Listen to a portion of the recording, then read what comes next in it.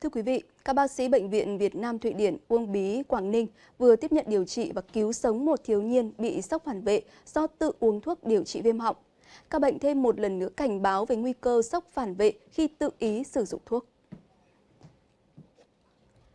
Theo thông tin, trước khi nhập viện cấp cứu, bệnh nhân 15 tuổi trú tại huyện Thủy Nguyên, thành phố Hải Phòng có biểu hiện đau rát họng và được người thân trong gia đình tự ra hiệu thuốc, mua thuốc về cho uống. Sau khi uống khoảng 15 phút, bệnh nhân có biểu hiện nổi mẩn khắp người, hai mắt sưng và được người nhà đưa đến cấp cứu tại Bệnh viện Việt Nam Thụy Điển Uông Bí. Ngay khi tiếp nhận bệnh nhân, các bác sĩ tiến hành thăm khám, cấp cứu và xác định thiếu niên này bị sốc phản vệ độ 2. Sau đó người bệnh được tiến hành cấp cứu theo phác đồ. Hiện người bệnh đã tỉnh táo và sức khỏe ổn định.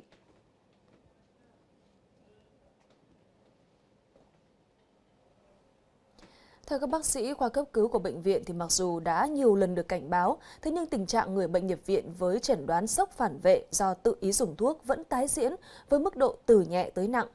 Việc tự ý mua và dùng thuốc không theo chỉ định của bác sĩ là rất nguy hiểm, tiềm ẩn nhiều nguy cơ. Và đặc biệt là đối với những người có tiền sử dị ứng hoặc là chưa biết bản thân có dị ứng thuốc hay không, bởi vì nó có thể dẫn tới sốc phản vệ, nguy hiểm tới tính mạng của người bệnh. Cũng theo đại diện của bệnh viện, việc cấp cứu người bệnh bị sốc phản vệ phải được thực hiện bởi các y bác sĩ có chuyên môn và dụng cụ hỗ trợ, hộp thuốc chống sốc. Khi phát hiện người có biểu hiện sốc phản vệ, cần khẩn trương đưa đến cơ sở y tế gần nhất trong thời gian ngắn nhất có thể.